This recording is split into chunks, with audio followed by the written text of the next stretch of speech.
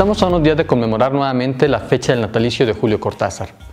Y de manera eminente pensamos en Rayuela, obra que además de popularidad lo posicionó como una voz de autoridad en distintos temas. Sin embargo, Cortázar es algo más que la maga y el por demás citado capítulo 7.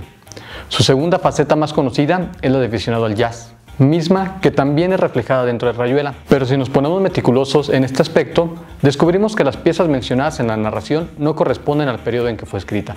Representan más bien un eco de nostalgia musical de la época en que Julio compraba sus primeros acetatos de 78 revoluciones. A través de esta afición llegamos a su obra El Perseguidor, donde narra los días finales de Johnny Carter, un artista del saxofón.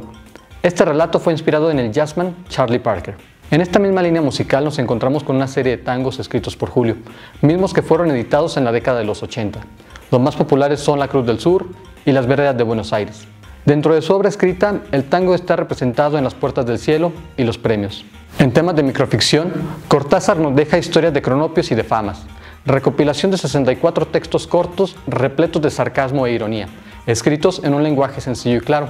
Podemos seguir hablando de Cortázar y su vasta obra, pero en lugar de eso, les dejo una serie de recomendaciones hechas por el autor en sus diferentes ensayos y conferencias. Se trata de la antología Cuentos Inolvidables según Julio Cortázar, que reúne nueve cuentos y su conferencia algunos aspectos del cuento. Este ejemplar ahora ocupa un espacio en nuestro librero vacío. Hasta la próxima.